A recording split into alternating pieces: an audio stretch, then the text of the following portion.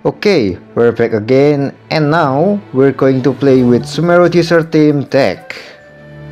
This deck featuring Candace, Armatindro, and Cyno. Before we get into the deck, I want to talk a little bit about this new character card, namely Armatindro, or her in-game name is Eremite Floral Ring Dancer. So, in short, this Armatindro has a lot in common with Pebble because they are on the same faction anyway. The main difference is in the buff provided by their elemental skills and the effect on their technique. Armatindro grants a plus 1 usage and plus 1 damage buff to technique after launching her elemental skills.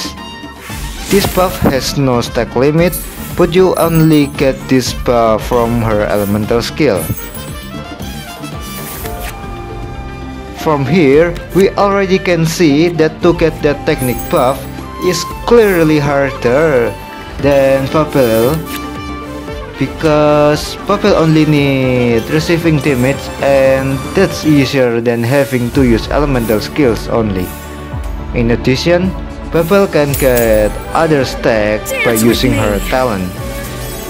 What makes this Armatindro superior is the amount of usage of the technique. The base is 2 usage, but this can increase according how many buff you collect through her elemental skill.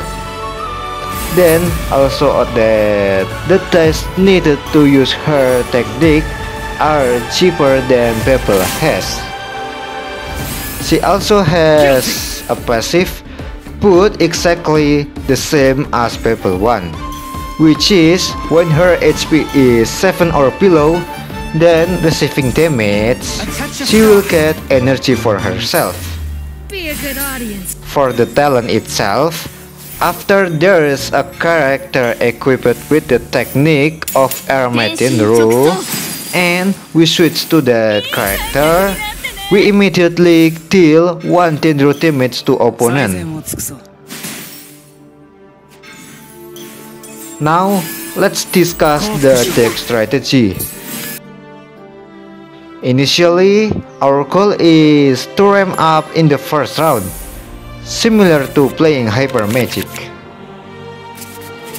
You can start with any character, but my approach varies if it is likely that Armatindro will drop to 7 HP, I'll start with her. Otherwise, Candace is my go-to. Candace's function here is somewhat similar to Herald, which is to taking more turns so that opponent will spend all of them dice before us. So what? Why not just use Herald instead? Well, it is a Sumeru resonance purpose and probably very rarely people use her nowadays. Why not Dehya then? Think fast. There's damage mitigation, right? Well, it is possible, but it will interrupt Armatindro toward 7 HP, which we must know that almost all character elemental skills have 3 point of damage. And if Armatindro receive it then she can get 1 energy directly. Of course, we want this to happen for efficiency. Okay, the point is that round 1 we have to ramp. That's the main thing. Then in the next round, of course, we want to burst with Armatindro. After popping this out, you can ram or deal some damage with Cyno while building up his tech. The game should be over in round 3 at the earliest for more space when ending the game, you can use Candace to extend the turn of your opponent or you can do a slow swap between Candace and Armatindro before going to Cyno. The rest is just magic shenanigan and for the use of skill of Cyno, he now has two elements which mean if the opponent has Electro Aura, then we can switch Cyno to use technique instead. And well, this opens up many options for Cyno next action. The rest is just a matter of sweeping the enemy and achieve victory. Well, that's about it for the tech strategy. Now, let's jump straight into the game and enjoy watching.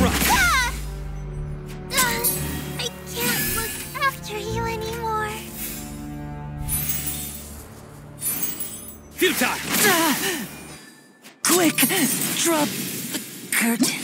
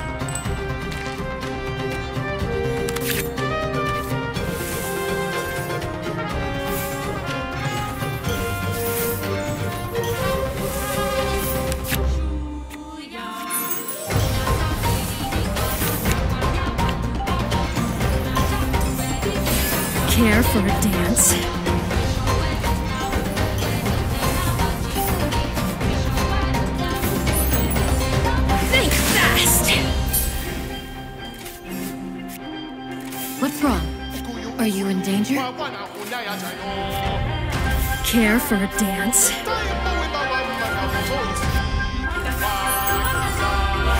fast! Where the eternal oasis!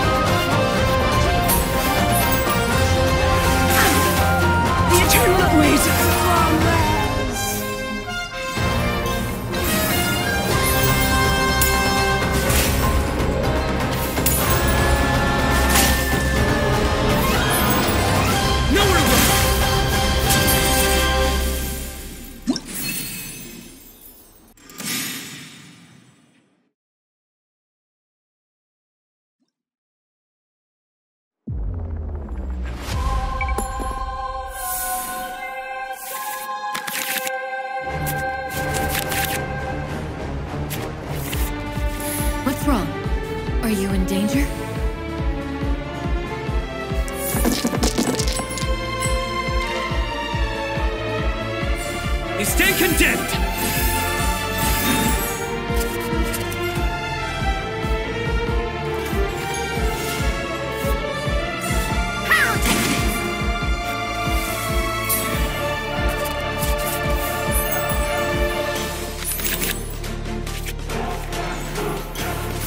Care for a dance? What's wrong? Are you in danger?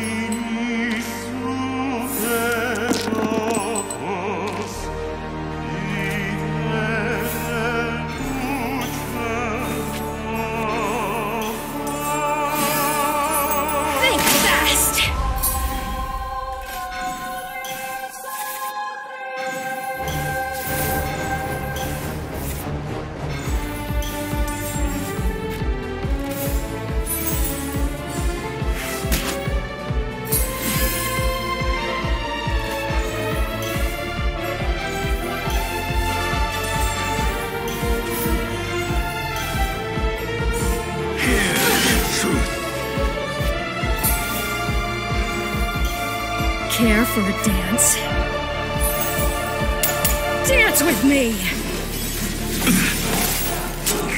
door is opened unto you.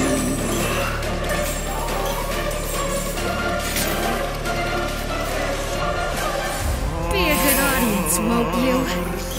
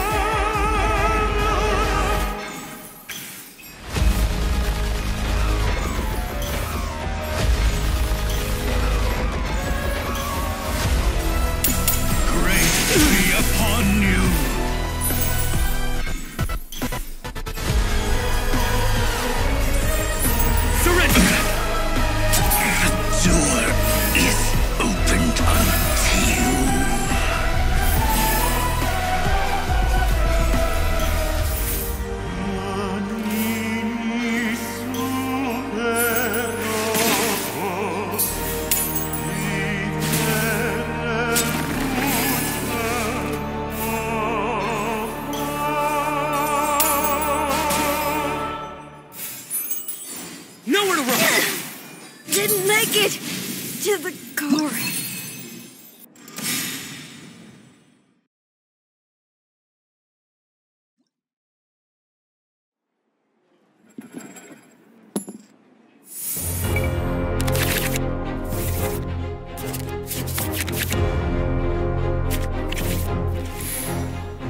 Care for a dance?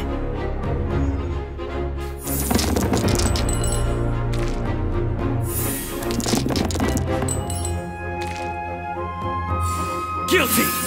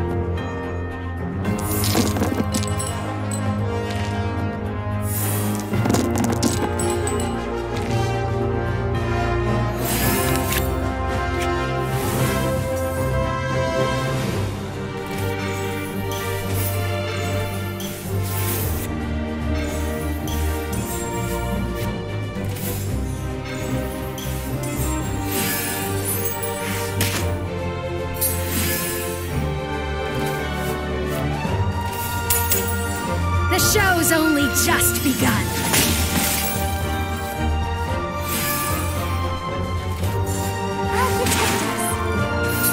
Our mission begins.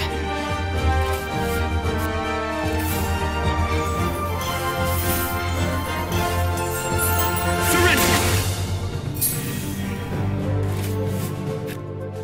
Care for a dance? Ready to do my utmost.